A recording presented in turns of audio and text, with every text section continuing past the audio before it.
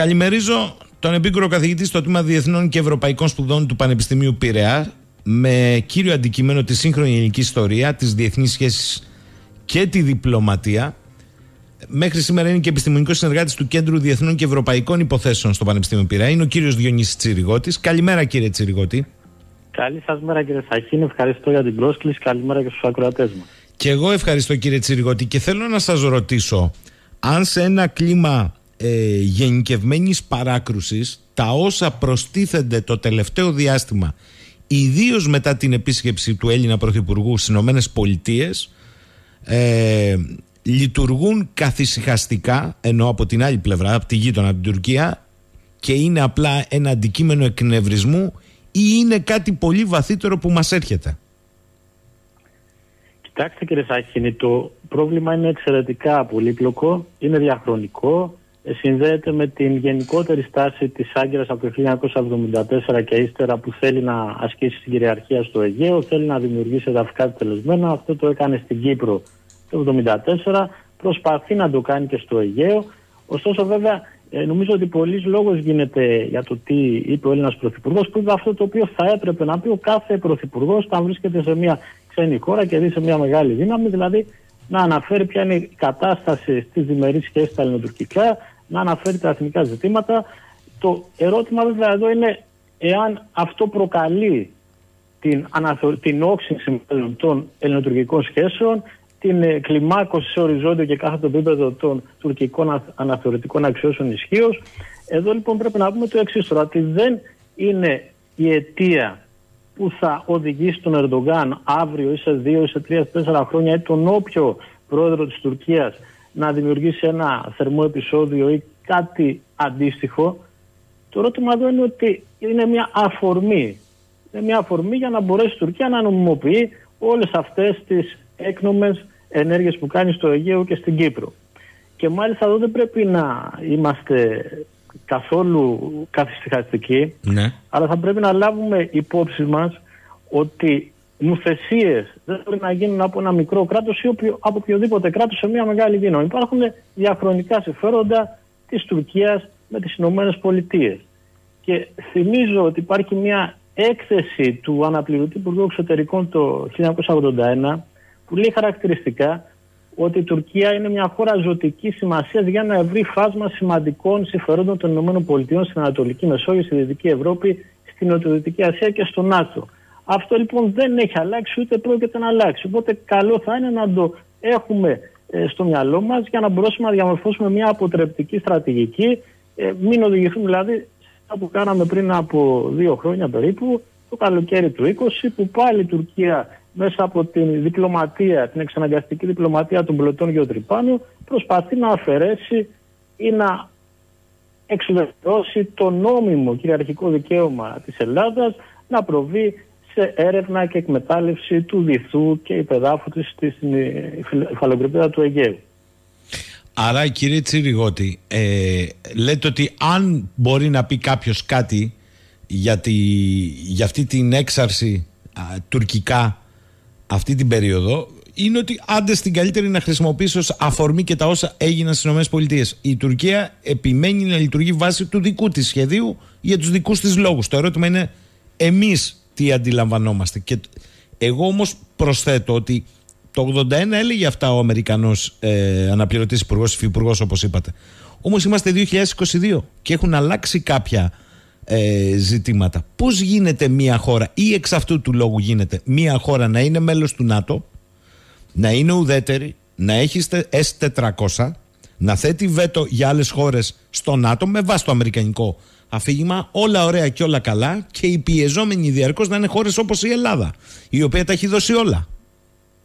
Ναι, αυτό επιβεβαιώνει, όπως σας είπα, στο εξής χαρακτηριστικό της Τουρκίας, ότι η Τουρκία λόγω της γεωγραφικής της θέσης είναι γεωπολιτικός άξονας, που σημαίνει δηλαδή ότι ο χώρος που ελέγχει είναι πολύ σημαντικός για την εκάστοτε μεγάλη δύναμη. Οι Ηνωμένες Πολιτείες, Ρωσία, Κίνα έχουν δηλαδή σημαντικά οικονομικά, στρατηγικά, πολιτικά συμφέροντα και από την άλλη όμως είναι και ένας γεωστρατηγικός, θα λέγαμε δρόντας, γιατί μπορεί να βάλει ισχύ και ενώ στρατιωτική ισχύ και οικονομική ισχύ σε πολλά και διαφορετικά περιφερειακά συστήματα. Είτε θέλετε στην Αφρική, είτε θέλετε στη Μέση Ανατολή, είτε θέλετε στα Βαρκάνια. Άρα γι' αυτό το λόγο είναι ένας σημαντικός παίκτης. Είναι δηλαδή μια περιφερειακή δύναμη, άσχετα με το γεγονός ότι εδώ τα τελευταία πέντε χρόνια ακούμε ότι η Τουρκία βρίσκεται σε μια κατάσταση χρεοκοπίας, ότι ο Ερντογάν έχει εσωτερικά προβλήματα. Αυτό όμως δεν αντικατοπτρίζεται στην πραγματικότητα. Δηλαδή η Τουρκία λειτουργεί ως ένας παίκτης, ο οποίος είναι άμεσα υπολογίσιμος και για τους Ρώσους και για τους Αμερικανούς. Το βλέπουμε στην Ουκρανία, ότι αναλαμβάνει ένα πρωταγωνιστικό ρόλο για να δοθεί μια λύση ε, στη στρατιωτική αυτή σύραξη που έχουν ξεκινήσει οι Ρώσοι.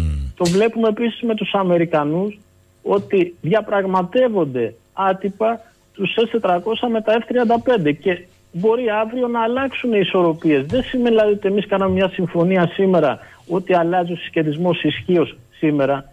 Αυτό θέλει ένα βάθος χρόνου. Και από την άλλη, το να συσσωρεύει οπλικά συστήματα, ναι, μεν, θα μου πείτε αυτό βοηθάει για να έχουμε μια ισορροπία ισχύως, αλλά δεν βοηθάει υπό την έννοια ότι αν δεν υπάρχει πολιτική βούληση να τα χρησιμοποιήσεις, είναι σαν να μην υπάρχουν αυτά τα οπλικά συστήματα. Δεν σου δίνουν δηλαδή ισχύ. Χρειάζεται η αποτροπή για να οικοδομηθεί από ένα κράτος, χρειάζεται τέσσερα πράγματα. Το πρώτο είναι η πολιτική βούληση. Το δεύτερο είναι να μεταδώσει την πολιτική σου δέσμευση στον αντίπαλο, να την επικοινωνήσει, δηλαδή δεν δέχεσαι καμία αμφισβήτηση των κυριαρχικών σου δικαιωμάτων. Το τρίτο είναι η ικανότητα και οικονομική και στρατιωτική και πολιτική. Και το τέταρτο είναι η αξιοπιστία της αποτροπής σου. Δηλαδή το συμφέρον που διακυβεύεται είναι όντως ζωτικό, είναι συμφέρον επιβίωσης. Για μας το Αιγαίο, η Κύπρος είναι ζωτικά συμφέροντα, είναι συμφέροντα επιβίωσης. Δεν μπορούμε να δεχθούμε καμία παραβίαση, καμία διαφυσβήτηση. Για την Τουρκία ο έλεγχος της Κύπρου ή η συγκυριαρχία του Αιγαίου είναι ένα συμφέρον βοήθρου κύρους.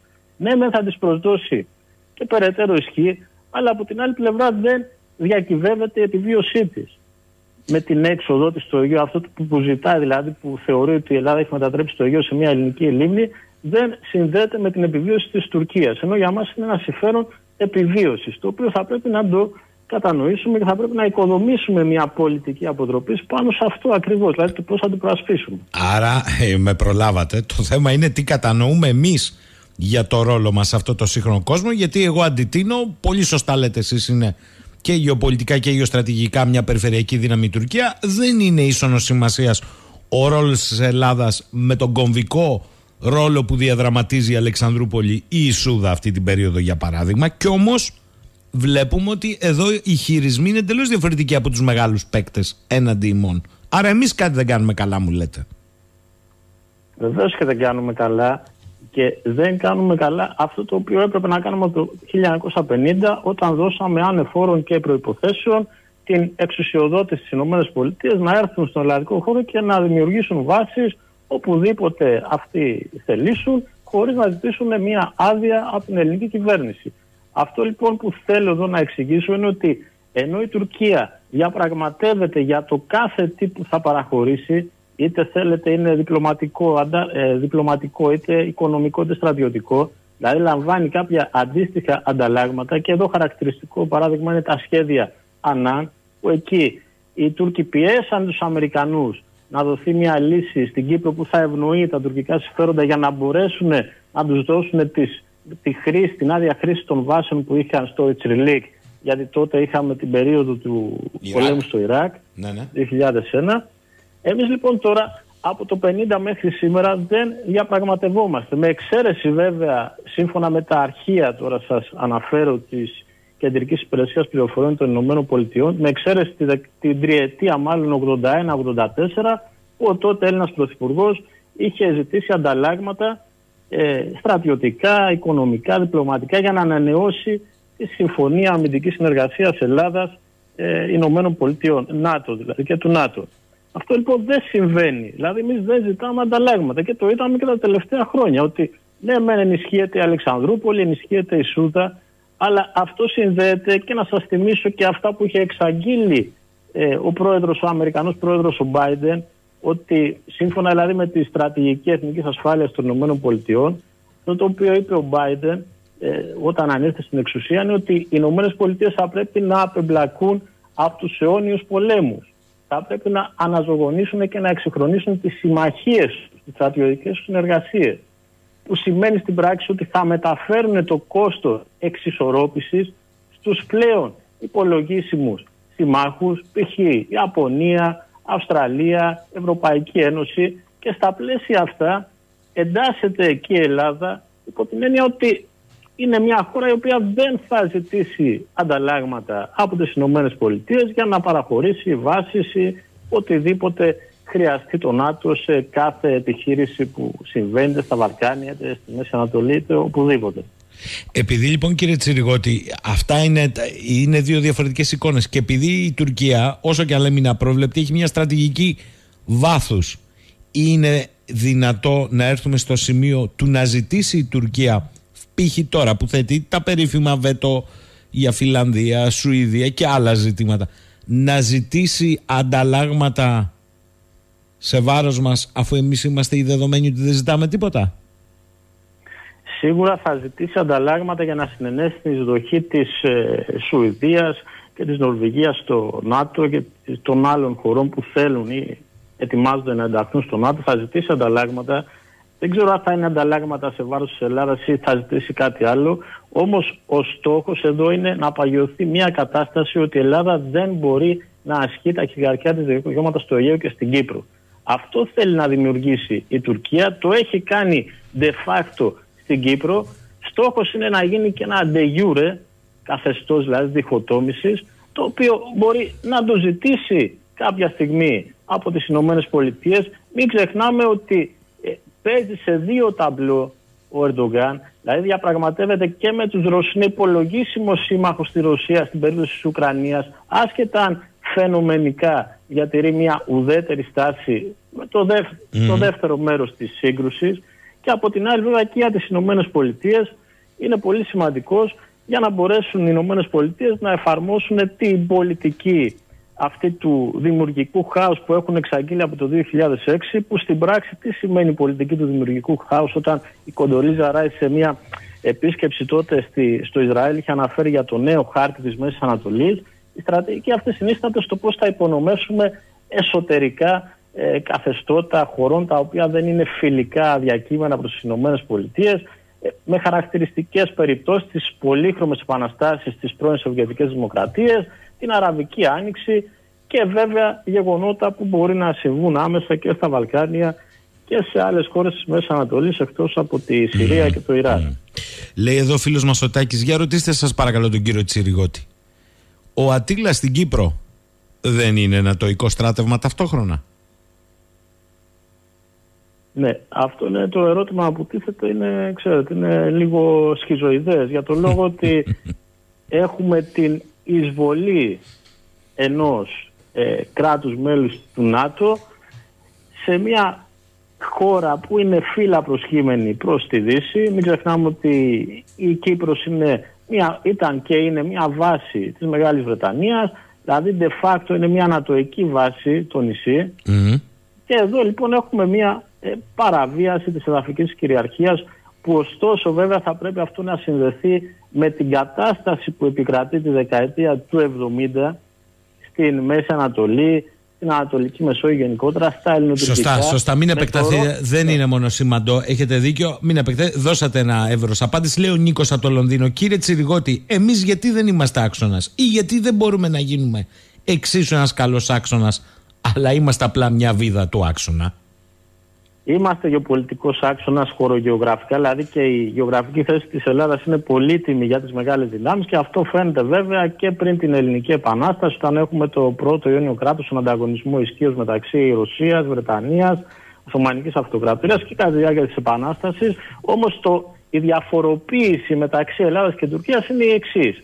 Ότι όταν εμείς χάσαμε το στόχο που είχε θέσει η αξίωση ανεξαρτησίας το 21, δηλαδή εμείς δεν μπορέσαμε να φτιάξουμε ένα ανεξάρτητο εθνικό κράτος, αλλά τεθήκαμε υπό την υποτέλεια, θα μπορούμε να πούμε, των τριών εγκύτριων δυνάμεων. Ο Κεμάλ αντίστροφα το 1919, όταν ξεκινάει το, το εθνικιστικό κίνημα αντίθεση έναντι των δυτικών δυνάμεων, θέτει ως πρωταρχικό στόχο έναντι όλων και εννοώ έναντι των συνδετημόνων του ότι το εθνικό αυτό κίνημα θα πρέπει να είναι αμυγός εθνικιστικό, αμυγός εθνικό, δεν θα πρέπει να τεθεί υπό καμία ξένη εντολή. Όταν δηλαδή τους ζητούσαν να τεθεί υπό την εντολή των ΗΠΑ ή της Βρετανίας ή ακόμα και με τους Μποσεβίκου που είχε στενή συμμαχική σχέση, ο Κεμάρ θα τονίσει ότι θα πρέπει να είμαστε αυτόνομοι, αυτάρκης, να στηριχθούμε στην αρχή της αυτοβοήθειας. Κάτι το οποίο εμείς δεν έχουμε κάνει. Με ελάχιστες εξαιρέσεις όπως είναι ο Καποδίστριας ή ο Ελευθερός Βενιζόλη. Δεν έχουμε στηριχθεί στην αρχή της αυτοβοήθειας και πάντα ζητούμε την έσχατη στιγμή να έρθει εδώ η μεγάλη δύναμη προστάτη και να μας σώσει από Σάφες την κίνδυνο. Και απαντήσατε. Θέλω να σας ρωτήσω, κύριε Τσιριγότη, το εξής. Υπάρχει ένα μεγαλύτερο κάδρο. Ε, στο πλαίσιο το οποίο όμως επηρεάζονται οι εξελίξεις και στα ελληνοτουρκικά. Καταρχάς αν έχετε την αίσθηση ε, γιατί στην Ελλάδα υπάρχει και μία αντίληψη μου τη στείλανε ακροατές σήμερα και από Έλληνες πολιτικούς ότι έλα μωρέ εντάξει γκρινιάζει λίγο για του κακοφάνη και θα, θα του περάσει. Το συμμερίζεστε αυτό, θα του περάσει και θα πάμε σε μια περίοδο ηρεμίας γιατί δεν τον παίρνει όπως λένε Έλληνες πολιτικοί ή θα κλιμακωθεί. Πρώτο ερώτημα. Μάλιστα, εδώ είναι σαν να με ρωτάνε οι ακροατές μας αν θα πραγματοποιηθεί, αν θα γίνει ένα σεισμό σε μια σεισμογενή περιοχή. Αν ναι. μπορούμε δηλαδή να αποκλείσουμε τον δεχόμενο ενός σεισμού σε μια άκρος σεισμογενή περιοχή όπως είναι η δική μας περιφέρεια. Άρα νομίζω ότι έχω απαντήσει αυτό. Δηλαδή κανείς δεν μπορεί να αποκλείσει το θερμό επεισόδιο. Μάλιστα. Το δεύτερο που θέλω να σας ρωτήσω είναι το εξής. Μιλήσατε για αποτροπή και μου το λέει εδώ πέρα η φίλη μου η Γιάννα μία κυρία. Μιλάει, λέει, και τον έχω ξανακούσει τον κύριο Τσιριγότη για τους άξονες αποτροπής. Ερώτηση. Εδώ φτάνουν δυόμιση ναυτικά μίλια πάνω από την Αλεξανδρούπολη και δεν κουνιέται φίλο. Πετάνε τα μη επανδρομένα, δεν κουνιέται φίλο. Γιατί να μας πιστέψουν ότι το εννοούμε; Πρώτον, αυτοί οι ίδιοι και δεύτερον, οι μεγάλοι παίκτες. Πολύ σωστή η παρατήρηση της κυρίας Γιάννας. Όντως, εμείς δεν μπορούμε σε αυτή τη φάση και γενικότερα από το 1974 μέχρι σήμερα δεν μπορούμε να έχουμε μια αξιόπιστη αποτρεπτική στρατηγική. Γιατί η αποτροπή είναι ο αντίπαλος να μην κάνει κάποια ενέργεια. Από τη στιγμή που ξεκινάει μια ενέργεια, δηλαδή από τη στιγμή που ξεκινάει να βγάλει ε, οκεανογραφικά σκάφη ε, για να κάνει σημολογικέ έρευνες στο Αιγαίο, έχει καταρρεύσει η αποτροπή μα. Από τη στιγμή δηλαδή που εισέρχονται και εξέρχονται είτε στον εθνικό εναέριο χώρο, είτε ακόμα και στην ελληνική γυαλίτιδα ζώνη ε, τουρκικά ε, αεροσκάφη, πολεμικά αεροσκάφη είτε πολεμικά πλοία, δεν υπάρχει αποτροπή. Μιλάμε για κάτι άλλο. Μετά προσπαθείς να αμυνθείς μετά σε αυτό το οποίο σου στερεί ο αντίπαλος, δηλαδή στερεί τα κυριαρχικά σου δικαιώματα. Άρα λοιπόν η αποτροπή είναι κάτι ευρύτερο το οποίο για να οικοδομηθεί χρειάζεται αξιοπιστία, πολιτική βούληση και αποτελεσματικότητα. Αυτά τα τρία στοιχεία θα πρέπει να συνενωθούν για να έχουμε το θετικό ε, αποτέλεσμα σε αυτό το οποίο εμείς επιδιώκουμε, δηλαδή να μπορέσουμε να εφαρμόσουμε το διεθνές δίκαιο, να μπορέσουμε να ασκήσουμε την κυριαρχία μας στο Αιγαίο και στην Κύπρο. Αυτό είναι το βασικό το οποίο θα πρέπει να συγκρατήσουμε. Μάλιστα. Ο φίλος ο Θέμης, κύριε Τσιριγότη λέει, όσο το πολιτικό μας σύστημα θεωρεί υπαρξιακή απειλή του, την ανάσχεση της υπαρξιακής απειλής του ελληνισμού, τα πράγματα θα είναι μόνιμα αρνητικά.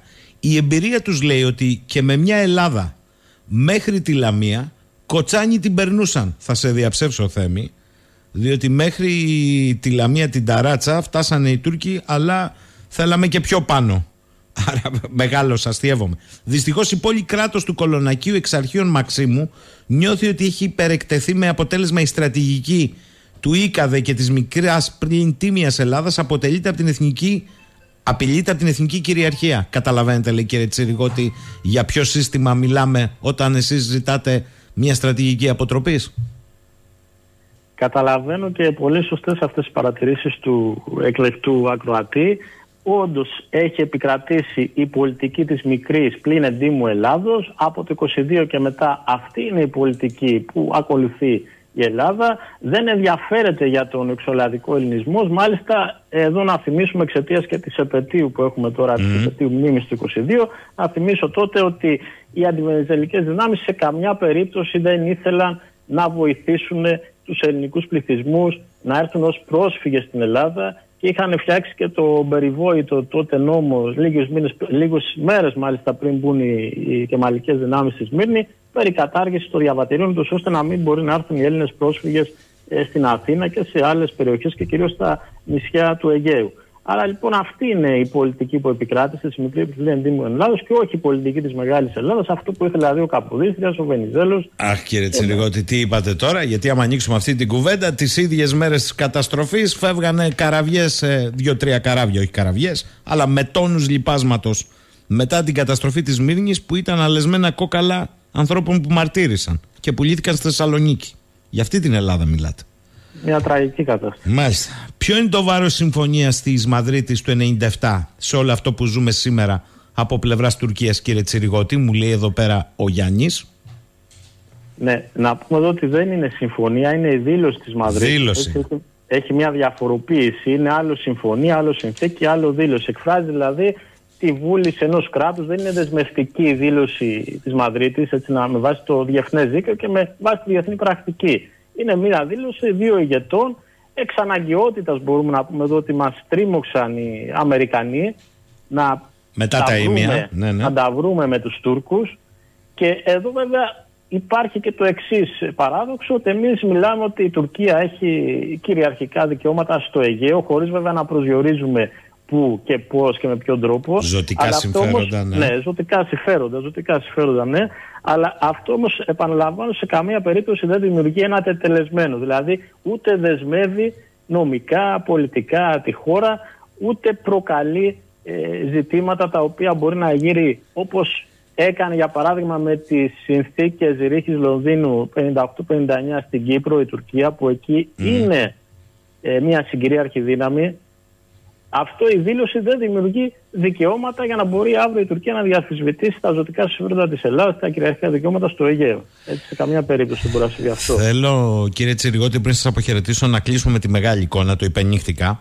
Ε, στην οποία έχει ανοίξει μια συζήτηση, ιδίως μετά την παρέμβαση του υπέργυρου Κίσιγκερ, το οποίος όμως ακόμη εγκεφαλικά λειτουργεί. Για μας είναι μια πικρή εμπειρία η εκφορά του ονόματός του, ιδίως για την Κύπρο και τις μαύρες σελίδες και για άλλους λαούς. Όμως κάνει μια τοποθέτηση χθες που με έναν τρόπο φρενάρει και αυτό το περίεργο κλίμα εξέδρας και στις ΗΠΑ και στην Ευρώπη διότι θέτει το δάκτυλο επί των τύπων των ύλων της μεγάλης γεωπολιτικής κακέρας, την οποία την ξέρει καλά. Και αυτό είναι το ερώτημα με το οποίο θέλω να κλείσω με εσάς. Έχουμε αντιληφθεί πια όλοι ότι με επίδικο την Ουκρανία γίνεται το έλα να δεις παγκοσμίως. Εχθέ είχαμε κοινά ε, κινεζορωσικά ε, γυμνάσια υπερπτήσεων, όχι υπερπτήσεων, ζώνων, ζωνών ασφαλείας αεροπορικών και ελέγχου εναερίων χώρων. Ενοχλήθηκε η Ιαπωνία και άλλες χώρες. Πού πάει το πράγμα; Πάει στο, στην αλλαγή θα μπορούμε να πούμε της διεθνούς τάξης, αγγλοσαξονικής διεθνούς τάξης που έχει δημιουργηθεί μετά το τέλος του ψυχρού πολέμου, δηλαδή της Αμερικανικής πρωτοκαθεδρίας. Και αυτό συμβαίνει για τον εξής λόγο ότι και η Κίνα και η Ρωσία ήδη από το 2000 έχουν μιλήσει για ένα νέο πολυπολικό διεθνές σύστημα, προσπαθούν να αφισβητήσουν πολιτικά, στρατιωτικά, οικονομικά την αγγλοσαξονική διεθνή τάξη και βέβαια στην προκειμένη περίπτωση εδώ πρέπει να πούμε και το εξής. Ότι οι Ηνωμένες Πολιτείες βλέπουμε ότι λειτουργούν ως υπερπόντιος εξισορροπητής. Προσπαθούν δηλαδή μέσω συμμαχιών να ανακόψουν την άνοδο της Κίνας σε μια θα λέγαμε συνέχεια της στρατηγικής ανάσχεσης της περιμέτρου στην περιοχή της Ευρασίας. Να το πω πιο απλά, διαχρονικά στην ιστορία τι υπάρχει. Υπάρχει μια σύγκρουση μεταξύ πυρωτικών και ναυτικών δυνάμεων. Η Ρωσία επειδή κατέχει μια περιοχή η οποία είναι απρόσβλητη από ναυτική επίθεση ή από επίθεση από μια άλλη μεγάλη δύναμη με εξαίρεση την Κίνα κατέχει μια περιοχή που είναι σημαντική ως γεωπολιτικός χώρος επειδή έχει πλουτοπαραγωγικές ύλες, είναι προσβάσιμη μόνο από την Κίνα. Άρα στην πράξη τι έχουμε εδώ μέσα, μέσω της Ουκρανίας; Έχουμε την σύνδεση, γεωπολιτική και γεωστρατηγική σύνδεση Κίνας ε, και Ρωσίας. Και οι δύο αυτές δυνάμεις όμως τι θέλουν, θέλουν μια θέση και ένα ρόλο στο νέο διεθνές σύστημα, δηλαδή στη νέα παγκόσμια τάξη που θα πάει σε ένα πολυπολικό κόσμο που θα έχουμε 5-6 μεγάλες δυνάμεις με ίση θέση και ρόλο στη γεωπολιτική σκακέρα. Αυτό προσπαθούν να δημιουργήσουν τώρα και αυτό βέβαια προκαλείται λόγω της ανορθολογικής στρατηγικής των Ηνωμένων Πολιτειών, δηλαδή της στρατηγικής μιας πλανητικής ηγεμονίας που χωρίς να το καταλάβουν έχουν δημιουργήσει πολλές συσπυρώσεις γύρω από άλλα κέντρα ισχύως όπως είναι η Κίνα, η Ινδία, η Ρωσία και αυτό βέβαια θα πρέπει να δούμε στο μέλλον εάν θα καταλήξει σε έναν ε, οικονομικό πόλεμο, σε έναν υβριδικό πόλεμο, σε μια στρατιωτική σύγκρουση, κάτι το οποίο κανείς δεν μπορεί να προβλέψει. Έτσι, δεν μπορεί να κάνουμε προβλέψεις στις διεθνείς σχέσεις. Όμορφος κόσμος, ε. Συγκλονιστικές ε, περίοδοι, αλλά που έχουν αντίκτυπο στους λαούς, έτσι και αίμα, πολύ. Τι να κάνουμε. Ε, έτσι πορευόμαστε δυστυχώς. Κύριε Τσιριγότη, θέλω να σας ευχαριστήσω θερμά για αυτή τη συνομιλία. Εγώ ευχαριστώ. Καλή σας ημέρα από το Ηράκλειο. Καλή σας μέρα, καλή σας μέρα, γεια σας.